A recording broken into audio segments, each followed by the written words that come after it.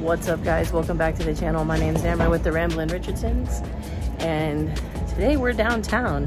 Actually down here with my mom at Cheer Up Charlie's for a I'm from Driftwood uh, viewing actually. They're gonna show my story tonight. So do me a big huge favor, go down there and like and subscribe, ring the notification bell. That way you don't miss any of the videos that we post. And if you haven't seen the video that I had done in a collaboration with Nathan, I'm from Driftwood. Make sure you go check it out. And let me show you around Charlie, Charlie's for just a second.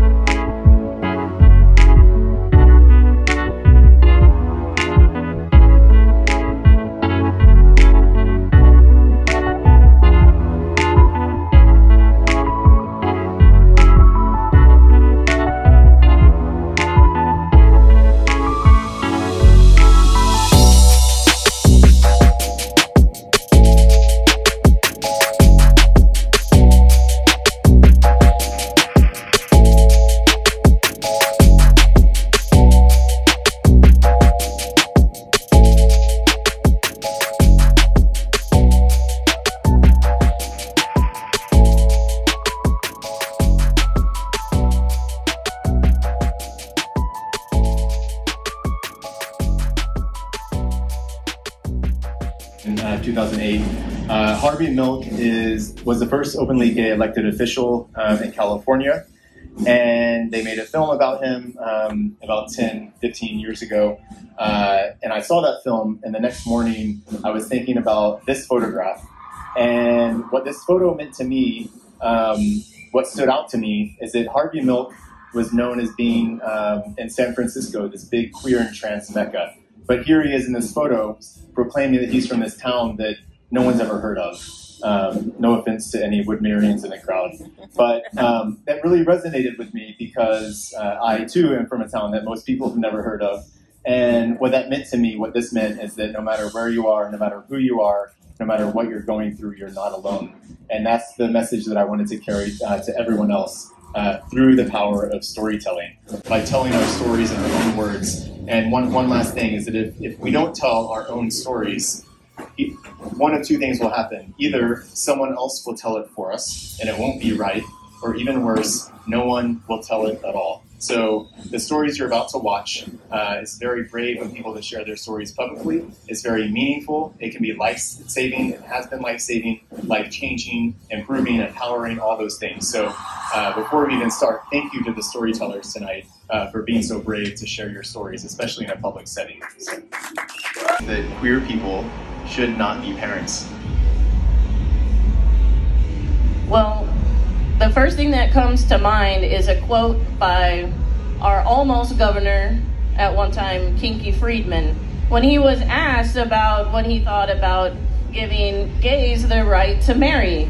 And his answer was, Well, I believe they have the right to be just as miserable as the rest of us. Uh, if I do, if I did my math correct, your child is about 16 months old right now. Yes. Is it uh, still a dream, or is it still loving every second of it? Absolutely, there's just a lot more poop than I had anticipated.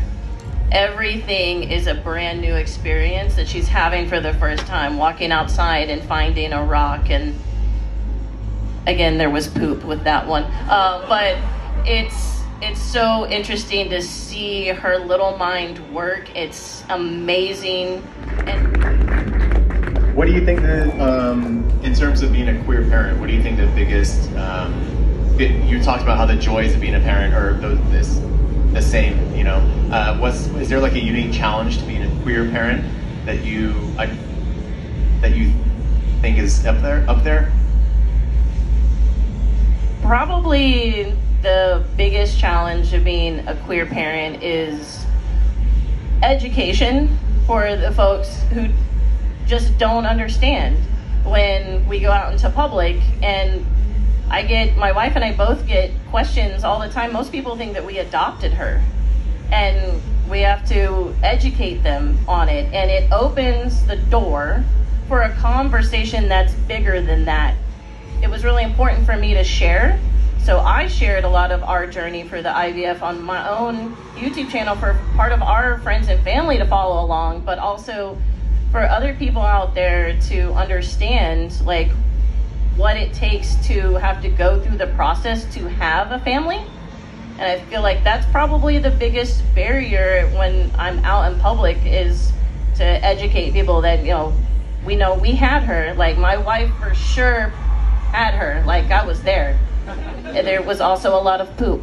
So it's just one of those things. Are, uh, well, there are. If there, the queer and trans people out there thinking about having children, um, you've been through it, you've gone through the process. What What's the one thing that you would tell them?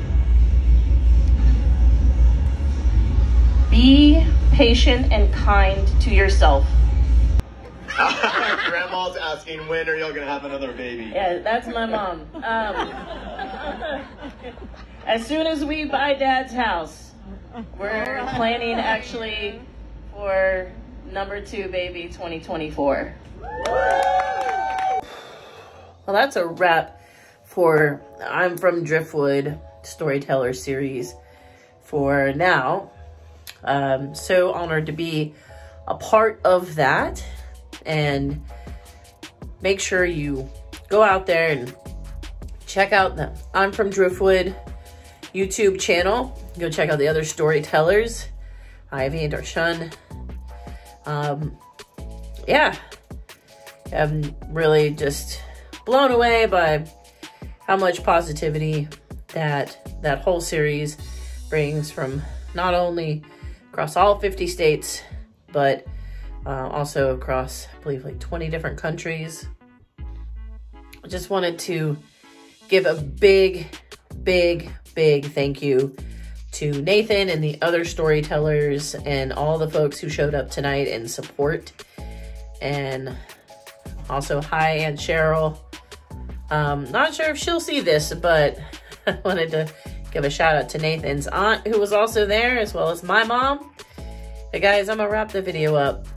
Thanks for watching. I hope you enjoyed it. Remember, life's about the journey and not the destination. We'll see you on the next video.